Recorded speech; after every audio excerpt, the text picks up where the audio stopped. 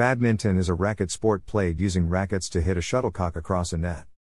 Although it may be played with larger teams, the most common forms of the game are singles and doubles. Badminton is often played as a casual outdoor activity in a yard or on a beach. Formal games are played on a rectangular indoor court. Points are scored by striking the shuttlecock with a racket and landing it within the opposing side's half of the court. Each side may only strike the shuttlecock once before it passes over the net. Play ends once the shuttlecock has struck the floor or if a fault has been called by the umpire, service judge, or the opposing side. The shuttlecock is a feathered or plastic projectile which flies differently from the balls used in many other sports. In particular, the feathers create much higher drag, causing the shuttlecock to decelerate more rapidly. Shuttlecocks also have a high top speed compared to the balls in other racket sports. The flight of the shuttlecock gives the sport its distinctive nature. The game developed in British India from the earlier game of battledore and shuttlecock. European play came to be dominated by Denmark, but the game has become very popular in Asia, with recent competitions dominated by China. Since 1992, badminton has been a summer Olympic sport with four events men's singles, women's singles, men's doubles, and women's doubles, with mixed doubles added four years later. At high levels of play, the sport demands excellent fitness, players require aerobic stamina, agility, strength, speed, and precision. It is also a technical sport, requiring good motor coordination and the development of sophisticated racket movements. An 1804 depiction of battledore and shuttlecock, an 1854 depiction of battledore and shuttlecock by John Leech games employing shuttlecocks have been played for centuries across Eurasia. But the modern game of badminton developed in the mid 19th century among the British as a variant of the earlier game of battledore and shuttlecock.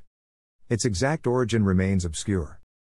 The name derives from the Duke of Beaufort's Badminton House in Gloucestershire, but why or when remains unclear.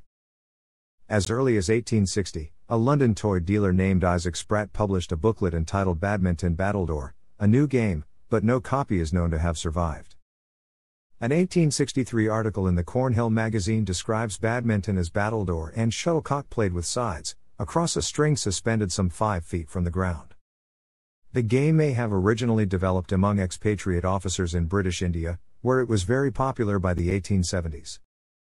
Ball badminton, a form of the game played with a wool ball instead of a shuttlecock, was being played in Tanjavur as early as the 1850s and was at first played interchangeably with badminton by the British.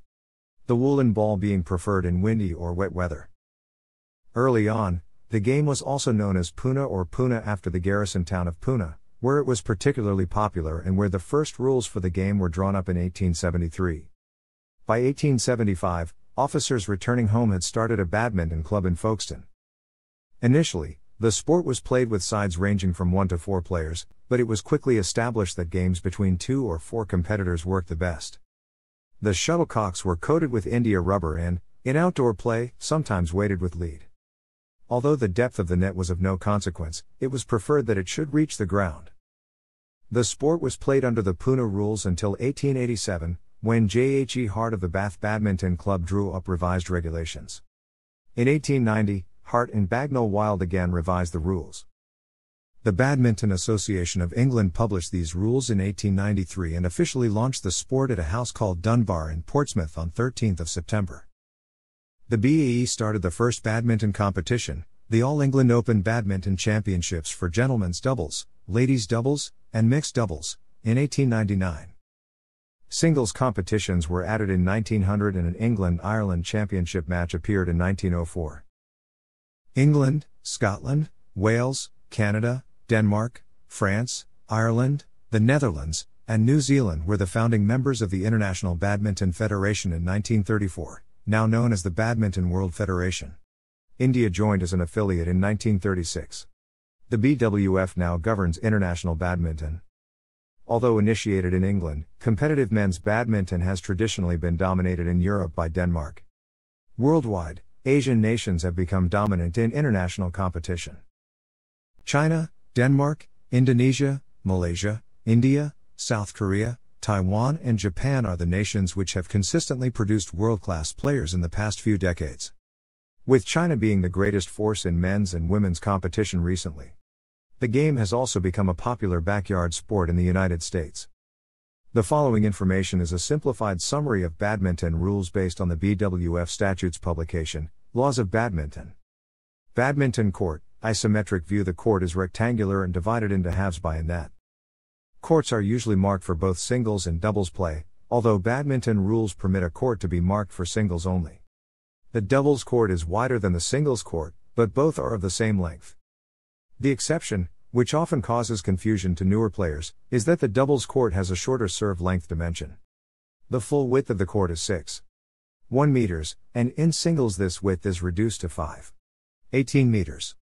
The full length of the court is 13. 4 meters. The service courts are marked by a center line dividing the width of the court, by a short service line at a distance of 1. 98 meters from the net, and by the outer side and back boundaries. In doubles, the service court is also marked by a long service line, which is 0. 76 meters from the back boundary. The net is 1. 55 meters high at the edges and 1. 524 meters high in the center. The net posts are placed over the double sidelines, even when singles is played. The minimum height for the ceiling above the court is not mentioned in the laws of badminton. Nonetheless, a badminton court will not be suitable if the ceiling is likely to be hit on a high serve. The legal bounds of a badminton court during various stages of a rally for singles and doubles games when the server serves, the shuttlecock must pass over the short service line on the opponent's court or it will count as a fault. The server and receiver must remain within their service courts, without touching the boundary lines, until the server strikes the shuttlecock. The other two players may stand wherever they wish, so long as they do not block the vision of the server or receiver. At the start of the rally, the server and receiver stand in diagonally opposite service courts. The server hits the shuttlecock so that it would land in the receiver's service court. This is similar to tennis, except that in a badminton serve the whole shuttle must be below 1. 15 meters from the surface of the court at the instant of being hit by the server's racket, the shuttlecock is not allowed to bounce and in badminton, the players stand inside their service courts, unlike tennis. When the serving side loses a rally, the server immediately passes to their opponent. In singles, the server stands in their right service court when their score is even, and in their left service court when their score is odd. In doubles, if the serving side wins a rally, the same player continues to serve, but he or she changes service court so that she slash he serves to a different opponent each time. If the opponents win the rally and their new score is even, the player in the right service court serves. If odd, the player in the left service court serves. The players' service courts are determined by their positions at the start of the previous rally, not by where they were standing at the end of the rally. A consequence of this system is that each time a side regains the service, the server will be the player who did not serve last time. Each game is played to 21 points, with players scoring a point whenever they win a rally regardless of whether they served. A match is the best of three games. If the score ties at 20 to 20, then the game continues until one side gains a two point lead, except when there is a tie at 29 to 29, in which the game goes to a golden point of 30. Whoever scores this point wins the game. At the start of a match, the shuttlecock is cast and the side towards which the shuttlecock is pointing serves first. Alternatively, a coin may be tossed, with the winners choosing whether to serve or receive first, or choosing which end of the court to occupy first, and their opponents making the leftover the remaining choice. In subsequent games, the winners of the previous game serve first. Matches are best out of three, a player or pair must win two games to win the match. For the first rally of any doubles game, the serving pair may decide who serves and the receiving pair may decide who receives. The players change ends at the start of the second game, if the match reaches a third game, they change ends both at the start of the game and when the leading players or pair score reaches 11 points. If a let is called, the rally is stopped and replayed with no change to the score. Lets may occur because of some unexpected disturbance, such as a shuttlecock landing on a court, or in small halls, the shuttle may touch an overhead rail, which can be classed as a let. If the receiver is not ready when the service is delivered, a let shall be called, yet, if the receiver attempts to return the shuttlecock, the receiver shall be judged to have been ready. Badminton rackets Badminton rules restrict the design and size of rackets and shuttlecocks. Badminton rackets are lightweight, with top quality rackets weighing between 70 and 95 grams, not including grip or strings. They are composed of many different materials ranging from carbon fiber composite to solid steel, which may be augmented by a variety of materials. Carbon fiber has an excellent strength to weight ratio, is stiff, and gives excellent kinetic energy transfer. Before the adoption of carbon fiber composite, rackets were made of light metals such as aluminium. Earlier still, rackets were made of wood. Cheap rackets are still often made of metals such as steel, but wooden rackets are no longer manufactured for the ordinary market because of their excessive mass and cost. Nowadays, nanomaterials such as carbon nanotubes and fullerene are added to rackets, giving them greater durability. There is a wide variety of racket designs, although the laws limit the racket size and shape.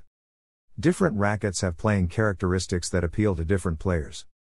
The traditional oval head shape is still available, but an isometric head shape is increasingly common in new rackets. Badminton strings for rackets are thin, high performing strings with thicknesses ranging from about 0. 62 to 0. 73 mm. Thicker strings are more durable, but many players prefer the feel of thinner strings. String tension is normally in the range of 80 to 160 N. Recreational players generally string at lower tensions than professionals, typically between 80 and 110 N. Professionals string between about 110 and 160 N. Some string manufacturers measure the thickness of their strings under tension so they are actually thicker than specified when slack. Ashaway micropower is actually 0. 7 mm but Yonex BG66 is about 0. 72 mm. It is often argued that high string tensions improve control, whereas low string tensions increase power. The arguments for this generally rely on crude mechanical reasoning, such as claiming that a lower tension string bed is more bouncy and therefore provides more power. This is, in fact, incorrect, for a higher string tension can cause the shuttle to slide off the racket and hence make it harder to hit a shot accurately. An alternative view suggests that the optimum tension for power depends on the player, the faster and more accurately a player can swing their racket, the higher the tension for maximum power. Neither view has been subjected to a rigorous mechanical analysis, nor is there clear evidence in favor of one or the other. The most effective way for a player to find a good string tension is to experiment. Badminton under grip flat The choice of grip allows a player to increase the thickness of their racket handle and choose a comfortable surface to hold. A player may build up the handle with one or several grips before applying the final layer. Players may choose between a variety of grip materials. The most common choices are PU synthetic grips or toweling grips. Grip choice is a matter of personal preference. Players often find that sweat becomes a problem. In this case, a drying agent may be applied to the grip or hands, sweat bands may be used, the player may choose another grip material or change their grip more frequently. There are two main types of grip replacement grips and overgrips. Replacement grips are thicker and are often used to increase the size of the handle. Overgrips are thinner, and are often used as the final layer. Many players, however, prefer to use replacement grips as the final layer. Toweling grips are always replacement grips. Replacement grips have an adhesive backing, whereas overgrips have only a small patch of adhesive at the start of the tape and must be applied under tension. Overgrips are more convenient for players who change grips frequently. Because they may be removed more rapidly without damaging the underlying material. A shuttlecock with a plastic skirt shuttlecocks with feathers A shuttlecock is a high drag projectile. With an open conical shape, the cone is formed from 16 overlapping feathers embedded into a rounded cork base. The cork is covered with thin leather or synthetic material. Synthetic shuttles are often used by recreational players to reduce their costs as feathered shuttles break easily. These nylon shuttles may be constructed with either natural cork or synthetic foam base and a plastic skirt. Badminton rules also provide for testing a shuttlecock for the correct speed. 3. 1. To test a shuttlecock, hit a full underhand stroke that makes contact with the shuttlecock over the back boundary line. The shuttlecock shall be hit at an upward angle and in a direction parallel to the sidelines. 3. 2. A shuttlecock of the correct speed will land not less than 530 mm and not more than 990 mm short of the other back boundary line. Badminton shoes are lightweight with soles of rubber or similar high grip, non marking materials. Compared to running shoes, badminton shoes have little lateral support. High levels of lateral support are useful for activities where lateral motion is undesirable and unexpected. Badminton, however, requires powerful lateral movements. A highly built up lateral support will not be able to protect the foot in badminton, instead, it will encourage catastrophic collapse at the point where the shoe's support fails. And the player's ankles are not ready for the sudden loading, which can cause sprains. For this reason, players should choose badminton shoes rather than general trainers or running shoes, because proper badminton shoes will have a very thin sole, lower a person's center of gravity, and therefore result in fewer injuries. Players should also ensure that they learn safe and proper footwork, with the knee and foot in alignment on all lunges. This is more than just a safety concern, proper footwork is also critical in order to move effectively around the court. Malaysian player Lee Chong Wei smashing badminton offers a wide variety of basic strokes, and players require a high level of skill to perform all of them effectively. All strokes can be played either forehand or backhand. A player's forehand side is the same side as their playing hand. For a right handed player, the forehand side is their right side and the backhand side is their left side. Forehand strokes are hit with the front of the hand leading, whereas backhand strokes are hit with the back of the hand leading. Players frequently play certain strokes on the forehand side with a backhand hitting action, and vice versa.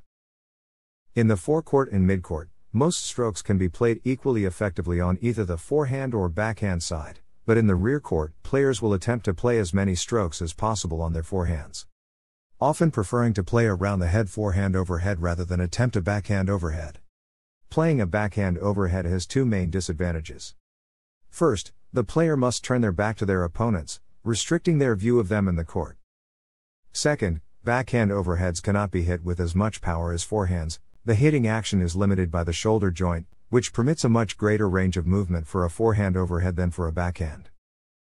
The backhand clear is considered by most players and coaches to be the most difficult basic stroke in the game, since the precise technique is needed in order to muster enough power for the shuttlecock to travel the full length of the court. For the same reason, backhand smashes tend to be weak.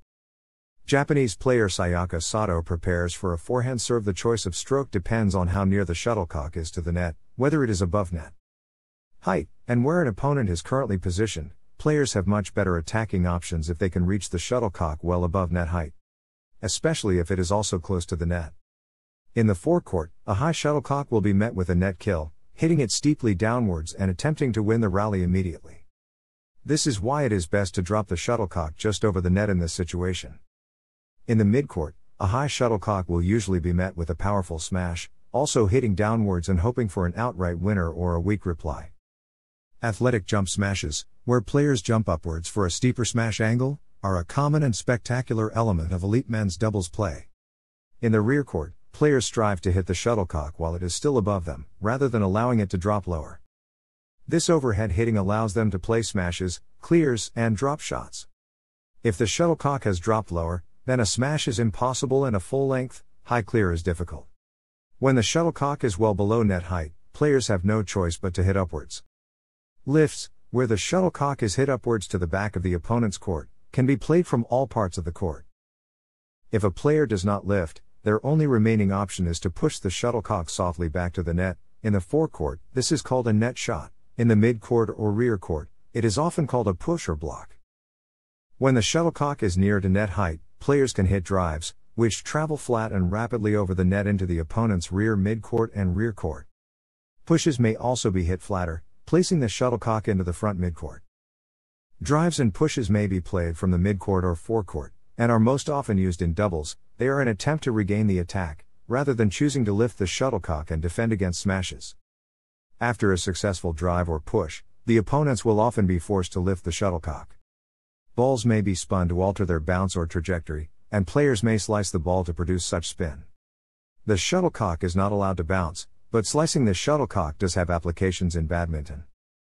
Due to the way that its feathers overlap, a shuttlecock also has a slight natural spin about its axis of rotational symmetry.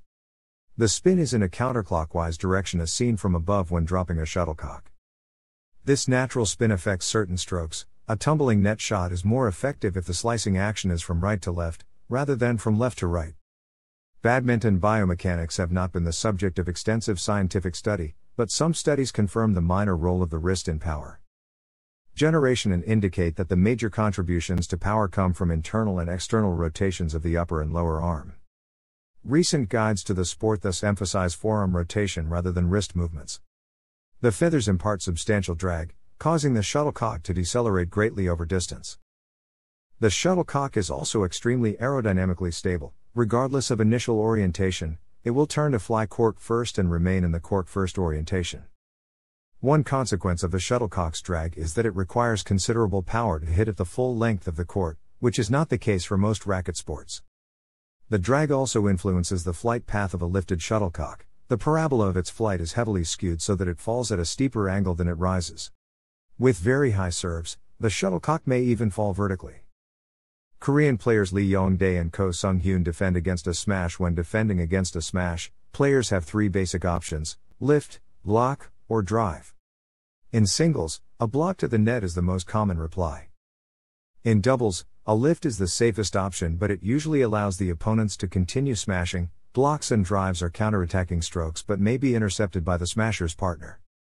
Many players use a backhand hitting action for returning smashes on both the forehand and backhand sides because backhands are more effective than forehands at covering smashes directed to the body. Hard shots directed towards the body are difficult to defend.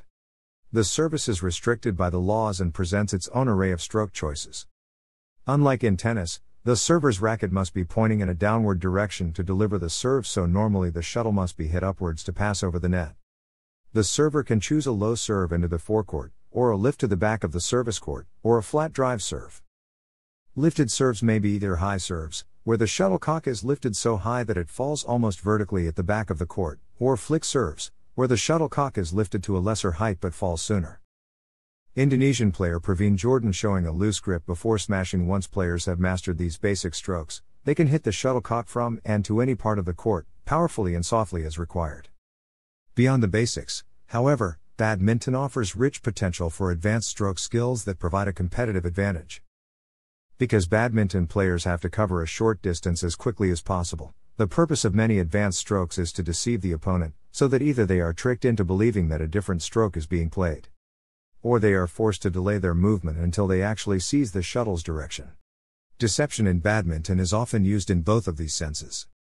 When a player is genuinely deceived, they will often lose the point immediately because they cannot change their direction quickly enough to reach the shuttlecock. Experienced players will be aware of the trick and cautious not to move too early, but the attempted deception is still useful because it forces the opponent to delay their movement slightly. Against weaker players whose intended strokes are obvious, an experienced player may move before the shuttlecock has been hit, anticipating the stroke to gain an advantage. Slicing and using a shortened hitting action are the two main technical devices that facilitate deception.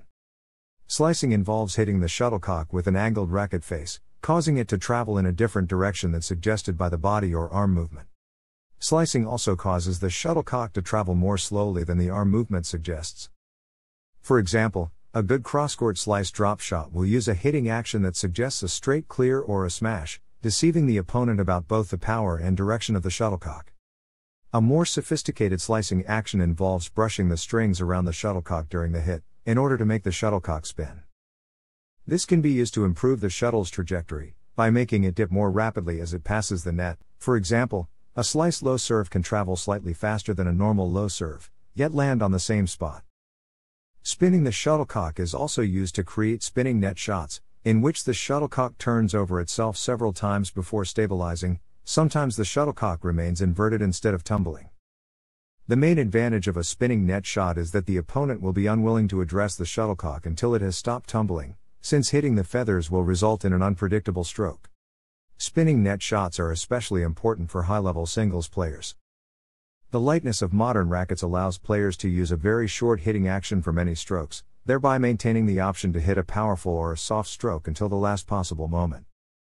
For example, a singles player may hold their racket ready for a net shot, but then flick the shuttlecock to the back instead with a shallow lift when they notice the opponent has moved before the actual shot was played. A shallow lift takes less time to reach the ground and as mentioned above a rally is over when the shuttlecock touches the ground. This makes the opponent's task of covering the whole court much more difficult than if the lift was hit higher and with a bigger, obvious swing. A short hitting action is not only useful for deception, it also allows the player to hit powerful strokes when they have no time for a big arm swing. A big arm swing is also usually not advised in badminton because bigger swings make it more difficult to recover for the next shot in fast exchanges.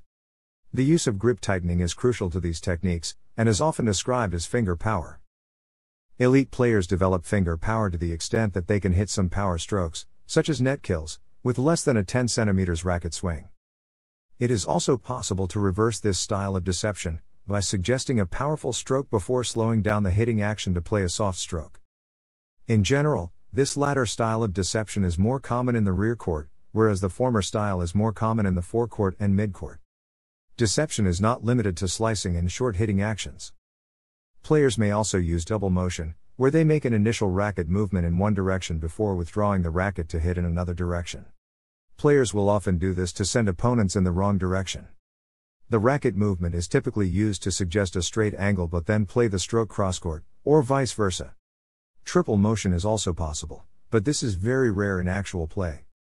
An alternative to double motion is to use a racket head fake, where the initial motion is continued but the racket is turned during the hit. This produces a smaller change in direction but does not require as much time. To win in badminton, players need to employ a wide variety of strokes in the right situations. These range from powerful jumping smashes to delicate tumbling net returns. Often rallies finish with a smash, but setting up the smash requires subtler strokes. For example, a net shot can force the opponent to lift the shuttlecock, which gives an opportunity to smash. If the net shot is tight and tumbling, then the opponent's lift will not reach the back of the court, which makes the subsequent smash much harder to return. Deception is also important. Expert players prepare for many different strokes that look identical and use slicing to deceive their opponents about the speed or direction of the stroke. If an opponent tries to anticipate the stroke, they may move in the wrong direction and may be unable to change their body momentum in time to reach the shuttlecock. Since one person needs to cover the entire court, singles tactics are based on forcing the opponent to move as much as possible. This means that singles strokes are normally directed to the corners of the court. Players exploit the length of the court by combining lifts and clears with drop shots and net shots. Smashing tends to be less prominent in singles than in doubles because the smasher has no partner to follow up their effort and is thus vulnerable to a skillfully placed return. Moreover, frequent smashing can be exhausting in singles where the conservation of a player's energy is at a premium. However, players with strong smashes will sometimes use the shot to create openings, and players commonly smash weak returns to try to end rallies. In singles, players will often start the rally with a forehand high serve or with a flick serve. Low serves are also used frequently, either forehand or backhand. Drive serves are rare. At high levels of play, singles demand extraordinary fitness. Singles is a game of patient positional maneuvering, unlike the all out aggression of doubles.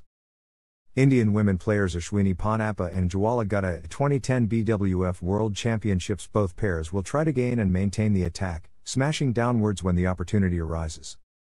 Whenever possible, a pair will adopt an ideal attacking formation with one player hitting down from the rear court, and their partner in the midcourt intercepting all smash returns except the lift.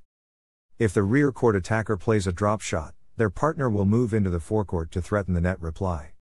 If a pair cannot hit downwards, they will use flat strokes in an attempt to gain the attack. If a pair is forced to lift or clear the shuttlecock, then they must defend, they will adopt a side by side position in the rear midcourt, to cover the full width of their court against the opponent's smashes. In doubles, players generally smash to the middle ground between two players in order to take advantage of confusion and clashes. At high levels of play, the backhand serve has become popular to the extent that forehand serves have become fairly rare at a high level of play. The straight low serve is used most frequently, in an attempt to prevent the opponents gaining the attack immediately. Flick serves are used to prevent the opponent from anticipating the low serve and attacking it decisively. At high levels of play, doubles rallies are extremely fast. Men's doubles are the most aggressive form of badminton, with a high proportion of powerful jump smashes and very quick reflex exchanges. Because of this, spectator interest is sometimes greater for men's doubles than for singles. The 2012 Olympic mixed doubles final in London in mixed doubles, both pairs typically try to maintain an attacking formation with the woman at the front and the man at the back. This is because the male players are usually substantially stronger and can, therefore, produce smashes that are more powerful. As a result, mixed doubles require greater tactical awareness and subtler positional play. Clever opponents will try to reverse the ideal position by forcing the woman towards the back or the man towards the front. In order to protect against this danger, mixed players must be careful and systematic in their shot selection. At high levels of play, the formations will generally be more flexible. The top women players are capable of playing powerfully from the backcourt, and will happily do so if required. When the opportunity arises, however, the pair will switch back to the standard mixed attacking position, with the woman in front and men in the back. The Badminton World Federation is the internationally recognized governing body of the sport responsible for the regulation of tournaments and approaching fair play. Five regional confederations are associated with the BWF, a men's doubles match. The blue lines are those for the badminton court. The other colored lines denote uses for other sports, such complexity being common in multi use sports halls. Spanish Beatriz Corrales at the 2015 Finnish Open Badminton Championships in Vantaa, Finland. The BWF organizes several international competitions, including the Thomas Cup. The premier men's international team event first held in 1948 to 1949, and the Uber Cup, the women's equivalent first held in 1956 to 1957. The competitions now take place once every two years. More than 50 national teams compete in qualifying tournaments within continental confederations for a place in the finals. The final tournament involves 12 teams, following an increase from 8 teams in 2004. It was further increased to 16 teams in 2012. The Sudirman Cup, a gender mixed international team event held once every two years, began in 1989. Teams are divided into seven levels based on the performance of each country. To win the tournament, a country must perform well across all five disciplines. Like association football, it features a promotion and relegation system at every level. However, this system was last used in 2009 and teams competing will now be grouped by world rankings. Badminton was a demonstration event at the 1972 and 1988 Summer Olympics. It became an official Summer Olympic sport at the Barcelona Olympics in 1992, and its gold medals now generally rate as the sport's most coveted prizes for individual players. In the BWF World Championships, first held in 1977, currently only the highest ranked 64 players in the world, and a maximum of four from each country can participate in any category. In both the Olympic and BWF World Competitions, restrictions on the number of participants from any one country have caused some controversy because they sometimes result in excluding elite world level players from the strongest badminton nations. The Thomas, Uber, and Sudirman Cups, the Olympics, and the BWF World are all categorized as level 1 tournaments. At the start of 2007, the BWF introduced a new tournament structure for the highest level tournaments aside from those in level 1 the BWF Super Series. This Level 2 tournament series, a tour for the world's elite players, staged 12 open tournaments around the world with 32 players. The players collect points that determine whether they can play in Super Series finals held at the year end. Among the tournaments in this series is the venerable All England Championships, first held in 1900, which was once considered the unofficial World Championships of the sport. Level 3 tournaments consist of Grand Prix Gold and Grand Prix Event. Top players can collect the world ranking points and enable them to play in the BWF Super Series Open tournaments. These include the regional competitions in Asia and Europe, which produce the world's best players as well as the Pan America Badminton Championships. The Level 4 tournaments, known as International Challenge, International Series, and Future Series, encourage participation by junior players. Badminton is frequently compared to tennis due to several qualities. The following is a list of manifest differences, statistics such as the smash speed, above, prompt badminton enthusiasts to make other comparisons that are more contentious. For example, it is often claimed that badminton is the fastest racket sport. Although badminton holds the record for the fastest initial speed of a racket sports projectile, the shuttlecock decelerates substantially faster than other projectiles such as tennis balls. In turn, this qualification must be qualified by consideration of the distance over which the shuttlecock travels. A smashed shuttlecock travels a shorter distance than a tennis ball during a serve. While fans of badminton and tennis often claim that their sport is the more physically demanding, such comparisons are difficult to make objectively because of the differing demands of the games. No formal study currently exists evaluating the physical condition of the players or demands during gameplay. Badminton and tennis techniques differ substantially. The lightness of the shuttlecock and of badminton rackets allow badminton players to make use of the wrist and fingers much more than tennis players. In tennis, the wrist is normally held stable, and playing with a mobile wrist may lead to injury. For the same reasons, badminton players can generate power from a short racket swing. For some strokes, such as net kills, an elite player's swing may be less than 5 centimeters. For strokes that require more power, a longer swing will typically be used, but the badminton racket swing will rarely be as long as a typical tennis swing. Thanks for watching.